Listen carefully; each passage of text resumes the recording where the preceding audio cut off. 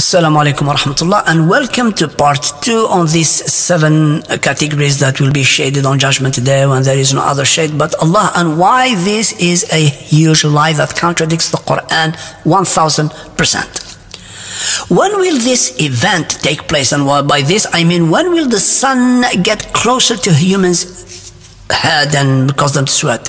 And the reason we ask this question is really simple. Allah in Al Quran has told us about far less dangerous things that will happen on Judgment Day. For example, He told us about how people will not be able to speak freely on Judgment Day and they will only be able to whisper to each other. Like when we are, uh, if we have a problem and in school and the, the headmaster is standing there threatening people, we cannot talk to him, but we can whisper amongst each other.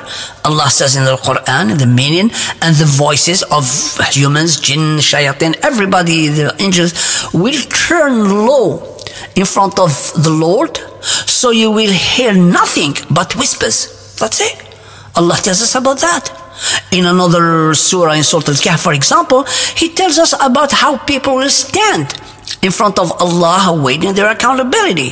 He tells us, and they shall all, all creation, humans and jinn, all line up in a single row before the God. So Allah is at one point in some place, and all the creation from the first man to the last man, from the first jinn to the last jinn, we all will be on one single row, shoulder to shoulder. One at your right and one at your left. Everybody faced towards where they're gonna go and be held accountable. And this is a very disturbing reality. Look at that. Allah tells us about how people will talk, how we will stand. And I need to mention one thing. If you go to Surah Al-Kahf 18, ayah 48, Allah says, وَعُرِضُوا عَلَىٰ رَبِّكَ صَفًّا And they shall all be lined up in front of your Lord in one single row. If you go to the English translations, the Quran.com, they will tell you that it is rows, um, um, like plural of row, when the Quran says only one row. And this is one of the problems of the translation.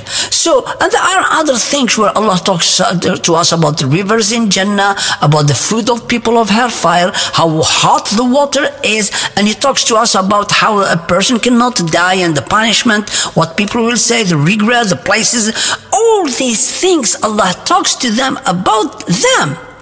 And he fails to tell us about how a sun is gonna be created specifically for our punishment on that day. This is crazy. Wallahi, this is crazy. Another thing that's gonna make you really worry. When the sheikhs, the men of religion, when they found themselves seven in this hadith seven will be seven categories will be shaded and all that stuff. When actually they found other people will be shaded. And now they have a problem. They say how do we understand this hadith narrative? It says seven but now we know there are more than seven. Well guess what they said they said the number seven in this hadith, the number seven, هذا العدد لا مفهوم له. They said this number, the number seven in this hadith narrative has no meaning to it. The seven, the number has no meaning to it. This number seven that comes after six and before eight has no meaning to it. Who give these people the authority? This number is known to everybody. How suddenly, when it comes into a hadith narrative, which is supposed to be a revelation from Allah, they tell you it has no meaning. It is a meaningless number. It's seven, seven, Ya Allah, seven, seven, seven. How can it be? So now the, uh, this gives us a whole bigger problem. If we go the route of these people that anything that the messengers say is a revelation, then when Allah states in this hadith narrative by Bukhari and Muslim and gazillion of other people that seven categories will be shielded by Allah on the day there is no shade but His shade, when Allah revealed this hadith narrative and its revelation, it comes from Allah, it must be authentic already. So did Allah forget the other, the other categories? Or did he add other categories later on after he said seven?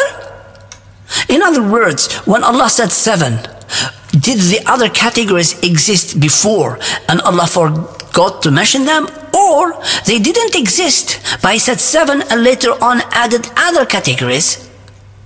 Did He mention the number seven uh, just like that for the joke of it?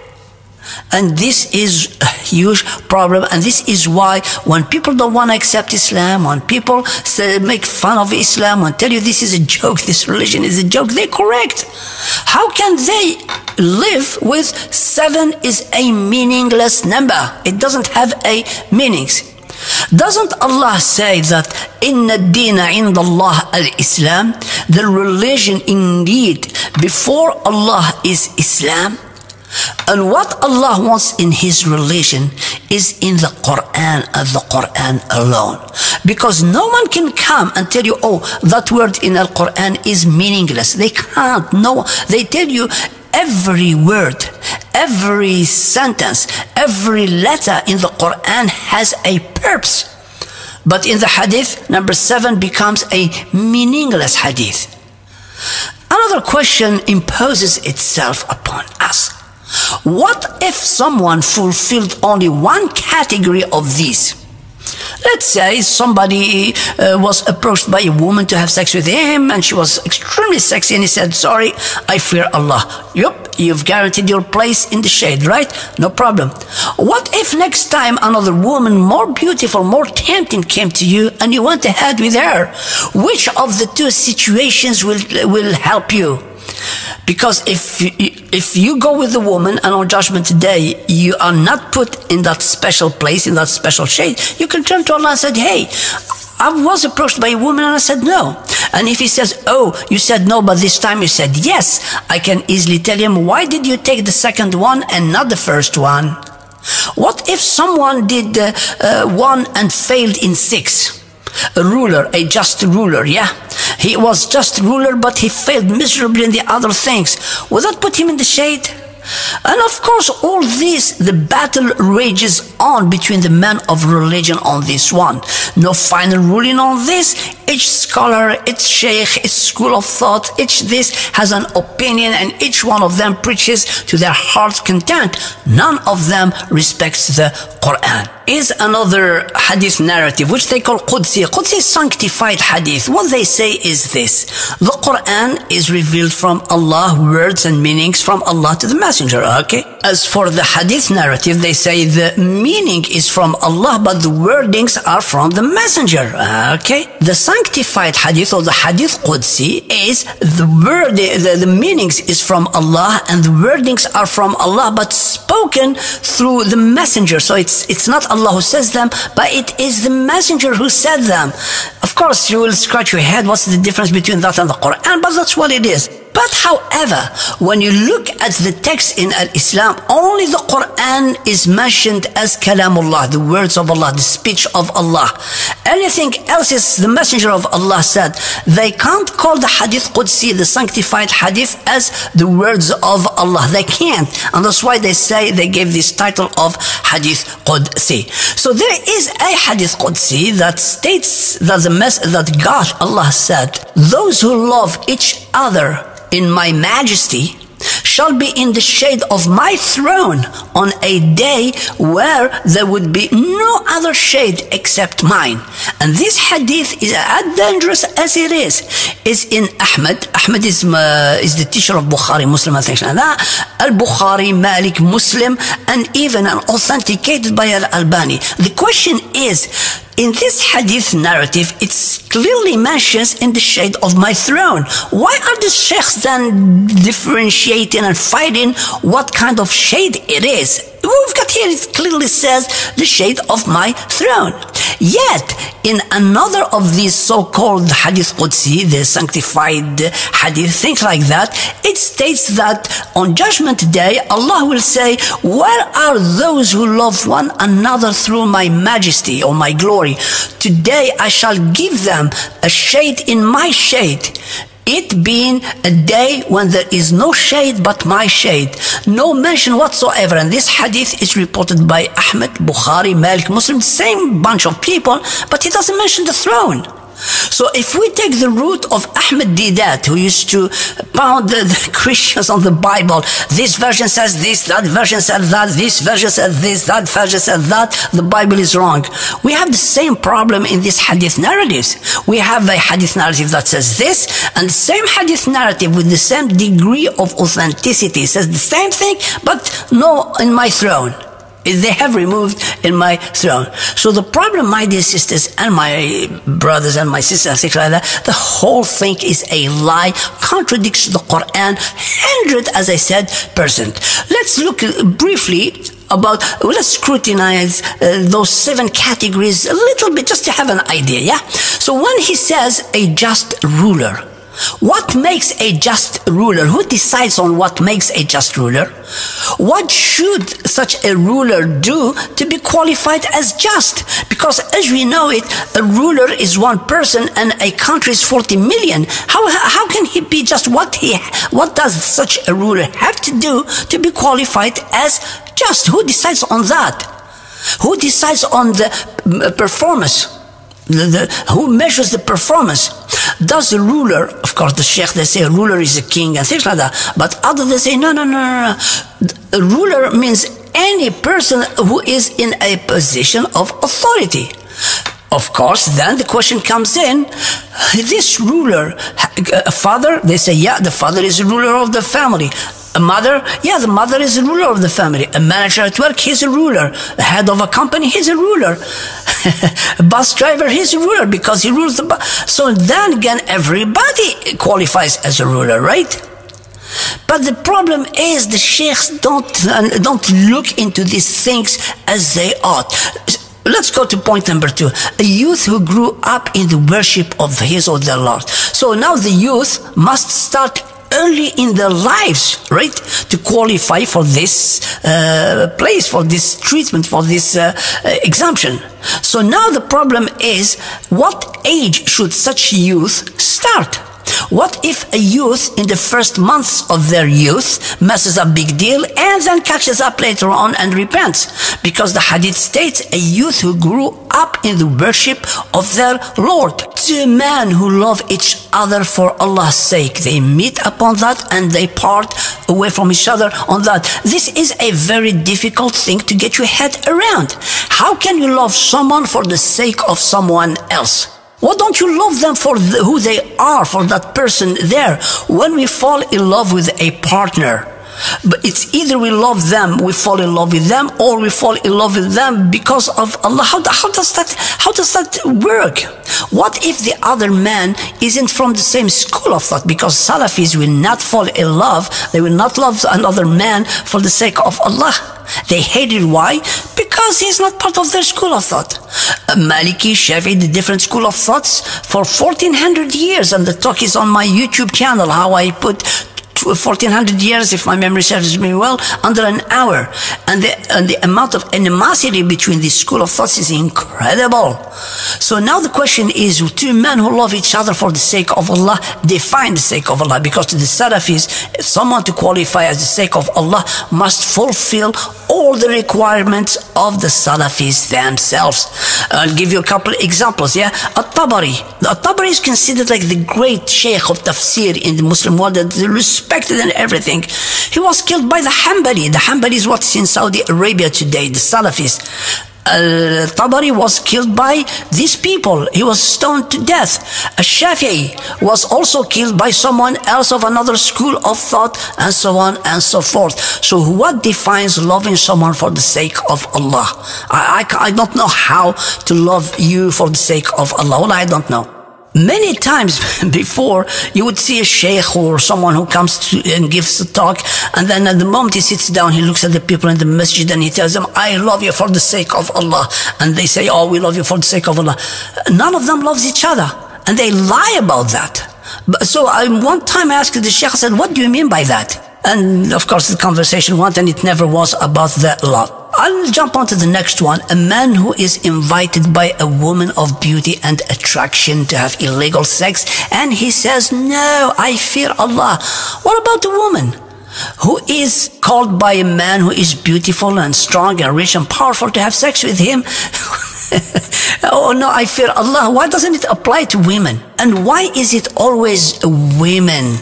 A man who is invited by a woman. There is a hadith in al-Bukhari where the messenger of Allah asks a woman to offer herself to him and it's on my website, uh, sorry, on YouTube channel. Please go there. When he told her, give yourself to me. And she told him, I don't give myself to you. You are just a peasant. Why should I, a peasant? Why should I give myself to you? As usual, as usual, the men of religion are keen on making women the trigger for sex. It's not men, it's women. It's always women. The Arabs who live in the desert, who are covered in dust, they are sweaty, stinking. And the woman, beautiful and power, would call them to have sex with her. Let me tell you something. If you are not a male, you are a woman. Let me tell you something about us men. If a woman calls a man and she's beauty and extremely things like that, alrighty, for uh, for sex, and he says, I fear Allah, we would think he's crazy. Allah would say, what? She called you and you said, yeah, he goes sleep with her and then repent to Allah. Allah accepts repentance. What's the problem with this? Eh, yeah, but, but the hadith, but you know, let's say point number, next point, a man who gives charity and hides it in such manner that his right hand doesn't know what his left hand does and things like that. Allah states in Al-Quran, in tubdu sadaqat fani'immahi, if you display your charities, that is excellent. If you do, when you, when you give money in front of people, that's good, that's fine, no problem. وَإِن تُخْفُوهَا وَتُؤْتُوهَا الْفُقَرَاء And if you conceal it and hand it over to the poor, between you and them, he guess that's better for you. So Allah, for Allah, it doesn't matter if you donate your charity in the open or in the close, as long as you donate it. So if on judgment day he will put anyone that has donated with his right hand so that his left hand doesn't know, I will say, Ya Allah, you said in the Quran that it's fine. Why are you treating them better than anyone else? But you know, a man who remembers Allah in private and sheds tears about that. The act of remembering, the verb remembering, oftentimes comes after you forget something. You need to forget to be able to remember. So if a man, and notice sexism here, a man, not a woman, a man sits at home and just thinks of, about Allah, Allah, Allah, Allah, until he drives himself to tears. And it's simple and easy. Link Allah to anything, to how your son died, to how you did, and we are emotional creatures. So the question here is this. One, what if someone sits to remember Allah but can't cry? Tears do not come easy to them. They are not used to these things. What kind of emotion such a man needs to develop to be able to shed tears? You see, if I sit here to remember my son who died a couple of years ago, tears will come to me quick. Why? Because I will remember the day he was born, when he was baby, as I held him in my arm, as I remember the very first time he walked, he spoke, as he grew old, his smiles. I, I have a lot of emotions I can lean on to trigger my feelings. And then at one point I will cry because I miss my son, I miss things like that. If I don't know somebody, I have no past with them then how can I cry by thinking about them? I cannot. I have nothing to hang on to. So if someone remembers Allah in private and cries, what should you do to cry? What should you do to cry? If I thought about my sins and how I did wrong, I can cry. But I can't just think of Allah. The other thing, uh, think of Allah and cry. The other thing is this. This hadith says, remember, someone sits and remembers Allah a believer, a true believer, does not forget Allah. When you're walking down the street and uh, you can steal money, but you don't steal it, why don't you do that? Well, it's simple. Because you are in constant awareness with Allah.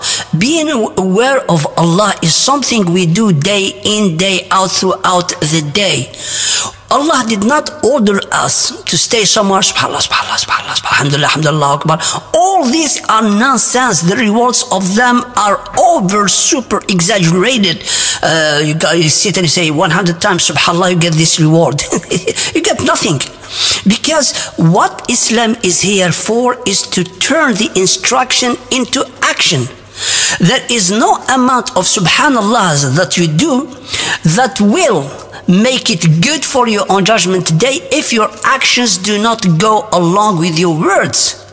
If someone claims to remember Allah, sits in some place and remember Allah in private until you cry, and then when you go out, you are an evil person, you're a miserable person, you backbite, you do this and you do that, then you are a liar by any stretch. You are a liar. And how can a person with such iman, a, a, strong belief, go throughout a whole day forgetting Allah and then sit at home and remembering it? And why should Allah reward this man for remembering him? What does, what does Allah get out of this? What does Allah gain? Doesn't Allah know what's inside that man's heart? You see, this statement, like the ones before it, do not make any sense, even though this hadith narrative is reported by Bukhari, Muslim, Ahmed, and, and the whole shebang. It just doesn't mean a thing. But now there is a question that is again imposing itself. It's another question. Where does this shade of Allah come from? The idea, since it doesn't say it in the Quran, and the Prophet Muhammad or the Messenger of Allah Muhammad cannot say something out of his own hat and says, Oh, Allah told me this. On Judgment Day, Allah knows one thing and one thing only. ألم تكن آياتي تتلى عليك weren't my ayat if he's talking to us the people uh, uh, of the Quran it's the Quran. If he's talking to a Jew it's the Torah. If he's talking to a Christian it's what's in the Bible. Believe it or not on judgment day the Christians will be judged according to what it says in the Bible. And in the Bible it prohibits the eating of pork. On judgment day all those who ate pork will be held to accountability. Why did you eat? And they can't say, Oh, I didn't know. You're Christian for the God's sake. You're Christian. And the, Jesus will do nothing to intercede for them or get them out of problem. So when Allah says, Alam takun ayati tutla alayk, weren't my ayat, my part of my revelation that I sent to you, recited upon you, Allah will not expect you to say, Oh, this one is in Bukhari. Oh, this one is in Hadith. Oh, this one that Sheikh said. No, you've got to answer with what is in the Quran or in the Torah or in the Gospel and things like that. So where do the idea of this shade come from? Well, if you go and take a small look in the Bible, and as I said before, over 80% of the Salafi Islam is in the Torah. we are more Jewish than the Jewish themselves. But anyhow, let me read to you a few passages from the Bible so that you know a little bit of, you get an idea where this idea of shade comes from. Verse number one, and this is in the uh, in the Psalms or Psalms, P S A L M S, in uh, Psalms or Psalms, and it's 36 or the Psalms. It depends on how you read, but anyhow, it's verse number one from the Psalms or Psalms or Psalms, number 36 here they praise Allah. This is a singing process, and this is how they praise Allah. How good is your loving mercy, O God. The children of man take cover under the shade of your wings. Christians believe on Judgment Day, humanity, his children, which to them are Christians, will seek refuge under the wings of God. And obviously, uh, it, it, could mean protection, it could mean things. But here, we'll see later on. In verse uh, at least the Bible here gives hope to all mankind, uh, unlike this human narrative which only uh, isolates the believers only. Verse number two, and this is in Ruth 02, and the verse 12, it reads like this May the Lord, and this is the Bible, eh? may the Lord reward your work and your wages be full from the Lord, the God of Israel under whose wings you have come to seek refuge. Again, wings here could be literal wings or hypothetical. One example like oh you are under my wings meaning you are under their protection. Verse number three again it's psalms or psalms number 17 verse 8 it reads like this Keep me as the apple of the eye. And that's why you have so many hadith. They say Rasulullah said, As-salat is like the apple of my eyes. but you know, keep me as the apple of the eye. Hide me in the shadow of your wings. Oh, now we're starting to see the wings. And remember, Abu Huraira, Ka'b al-Ahbar, Abd, uh, Ibn Munabbah, these people that are highly regarded in Salafi spheres were Jewish or students of Jewish rabbis. And these, uh, like Ibn al-Munabbah and Ka'b al-Ahbar, these people were actually Jewish rabbis. But anyhow, who embraced Islam. And as you can see, how they can say such things because they know them in, the, in their own uh, Torah and their uh, Talmud or the way Jews believe. Verse number four, in Revelations 4, verse from 1 and 2. It reads, and here it's going to mention the throne in heaven.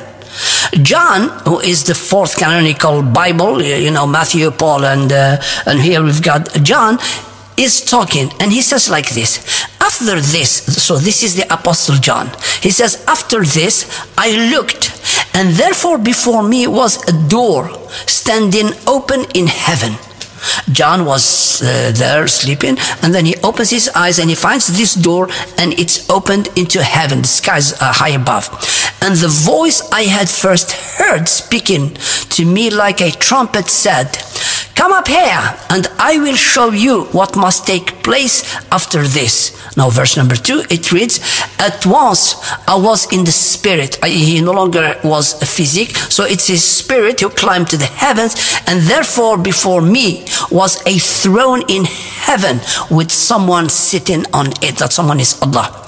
Doesn't this remind you of the Isra and the ascension of the Prophet Muhammad? It's exactly the same thing. If I remove Paul and I put uh, the Prophet of Allah Muhammad, as they say it, is exactly the same narrative. Number five, it's again Psalms 91 verse 1. It reads, He who dwells in the secret place of the Most High, and here is the temple, or put it like this, the masjid, the mosques. He who dwells in the secret place of the Most High, Allah of course, shall rest under the shadow of the Almighty. And they are talking on Judgment Day. So you can see the concept of being in the shade or shadow of the good Lord on Judgment Day starts its root in the Bible and ends in our Islam in Bukhari and Muslim. In conclusion, my dear sisters and my brother, this surreal narrative is nothing but an unjust and untrue statement. Someone somewhere had lied this lie and attributed it to the messenger of Allah. Any person who studies the Quran will see that this hadith of the seven uh, on heaven and you know the shade and things like that is nothing but a total hoax. And that the messenger of Allah, being a man educated and taught by Allah, wouldn't say such crazy things because the messenger of Allah was the real the physical implementations of the teachings of the Quran. And it is impossible for him to say something that doesn't exist in the Quran all what this narrative represents is what the men of religion in the days of old have invented. Someone has invented it. Remember, before the sheikhs, they just invent something and they create a chain of narrators and it becomes authentic. They were the best people to know what names they put in the chain of narrators so that whatever they say is acceptable. And then they attributed it to the messenger of Allah. Bear in mind, again, my dear sisters and my brother and brothers, the sun, as dangerous as it is, as hot as it is, as incredibly gigantic as it is, on judgment day will cause people only to sweat, not burn them into pieces. Not, not, it's just, it's gonna make them sweat. This is a lie. There are no seven categories. There are no eight categories. Nobody, there is no shade on judgment day. Inshallah, in the long series of uh, when I speak about the life of the messengers and prophets from the Quran, and I start from the day Allah decided for Adam and before a little bit, and then until people go to Jannah and Nar, uh, fire, and what happens on judgment day, until that moment comes in. I will leave you with these uh, small snippets about the lies that have been injected in Allah's religion. I pray to Allah to open our hearts to the true Islam of Al Quran and always remember Anyone who tells you the messenger of Allah said is a liar, for it is a totally agreed rule amongst the sheikhs that any hadith narrative is only a transmission of the meanings of each man, what each man understood from the man who told him before him. When they say the messenger of Allah said, they are not transmitting what the words of the messenger, like the Quran. When you say Allah says, قُلْ هُوَ اللَّهُ أَحَدٍ, you are saying what Allah said. The hadith is the opposite. When someone tells you Rasulullah said, the messenger of Allah said, understand that what that person is saying is what has been transmitted to them by meaning. Nothing is real.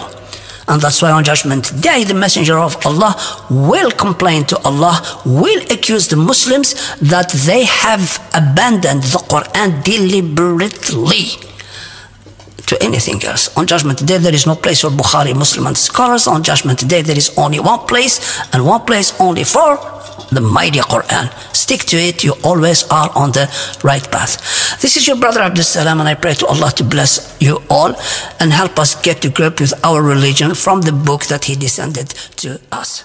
Assalamu alaikum wa rahmatullah.